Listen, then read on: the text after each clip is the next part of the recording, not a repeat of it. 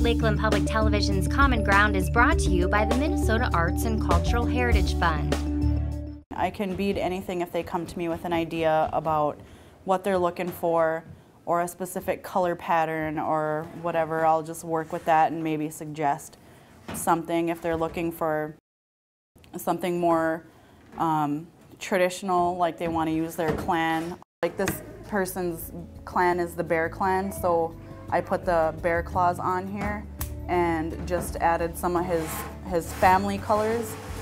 Um, red is sort of a sacred color, so I just kind of like add stuff just to make it make it more sparkly. So when he comes, he doesn't know that I'm putting these on there, the rhinestones, and those are fairly new. They didn't really use that kind of um, thing a long time ago. And no one thought to do it, and then once once they see, maybe a few people seen it on one person's outfit, they went ahead and said, "Oh, let me let me find some of those. Where'd you get those?" And a lot of things are shared too between families. Um, when my when I learned, I didn't actually do it, just pick it up one day and start. I actually learned by watching my grandma do it.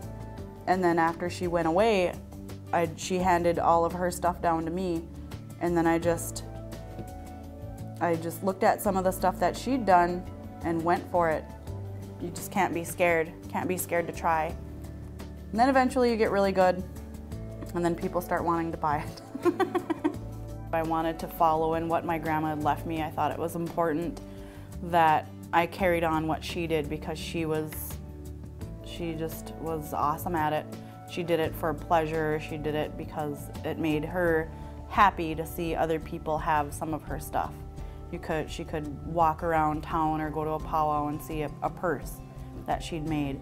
Someone proudly going, look at my purse, or you know, that sort of thing. So it, it was important to me to keep that going because now I, I, I've taught my daughters and I'll be teaching my youngest when she gets older too. Nowadays it's more contemporary. People will, will ask for things that they just more or less like I really like purple. I want whatever the design is, can you make sure I have a purple background? Or my my daughter really likes butterflies, so I've made made that in keeping with some of the Ojibwe styles by um, adding Ojibwe floral, but a contemporary butterfly with a lot of different colors, a lot of rhinestones, really kind of not outrageous, but further out than what you would expect on an Ojibwe styled outfit. It's pretty open. I mean, some people would prefer it being left alone, but that's more reserved for the dance. And, you know, they, there's a little bit of controversy about um, staying old school. Well, old style jingle is very, um, not, I don't want to say plain, but very reserved, very just done a certain way. And new style contemporary jingle dress dancers, they're really out there with their outfits and more, bigger, better, more, you know, colorful, extra, um, applique dresses, you know, that sort of thing. People just prefer one or the other, or but it's really fun to watch. and that's where I come in because I'll make all the beadwork that they ask for. My daughter's contemporary, so she does have the whole thing. Leggings, moccasins, um, long peyote stitch ropes, big fluffy plumes, um, hair accessories, the whole, the whole thing. And she likes it.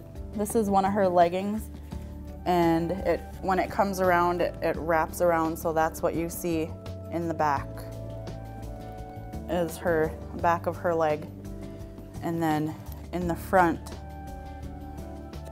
and like I said this is pretty well worn she she's still pretty young so she still puts a good beading on her beading on her outfits and then that's that's pretty much the gist of it in the how it looks in the front. And then of course when you put that on top of there it matches up it matches up the on the, the bottoms.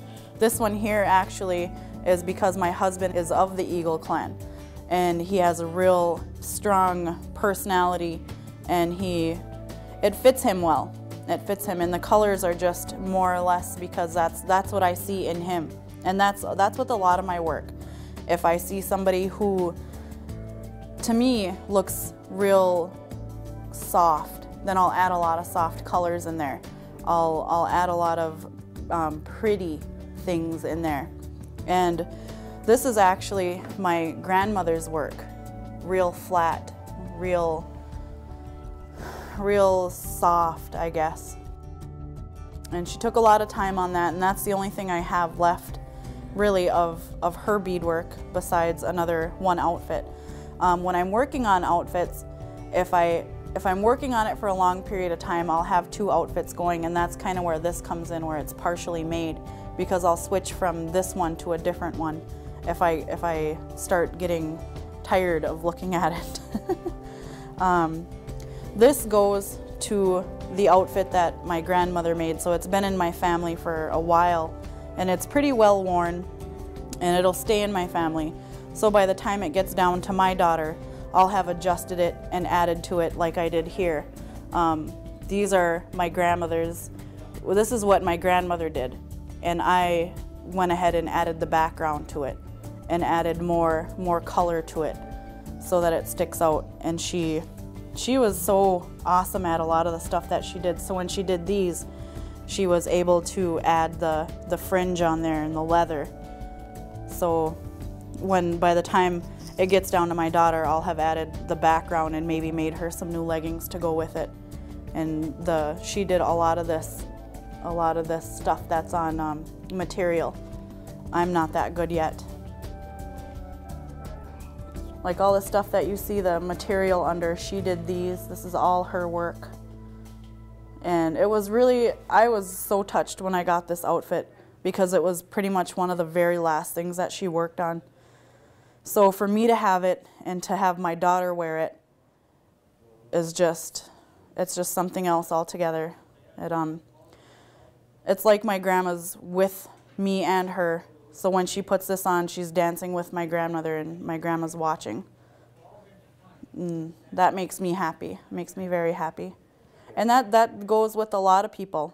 A lot of things get passed down so where they go out there and they're dancing and their stuff looks really old or well worn, it's because it's probably been passed down from grandmother to grandmother to daughter and they take a lot of pride in wearing that as well they should.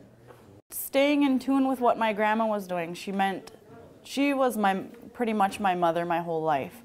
And out of respect for her and her memory, I really wanted to keep doing that just to honor her and that was my way of keeping her with me. I, it makes me feel good to see my stuff, my beadwork out there and dancing and having fun and being worn and being loved because there's a, there's a lot of pride that goes into my work.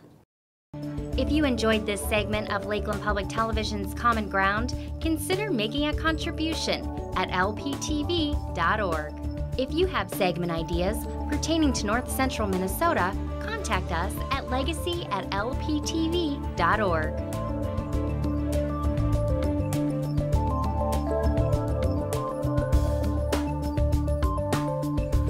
Common Ground is funded by the Minnesota Arts and Cultural Heritage Fund by the vote of the people on November 4th, 2008.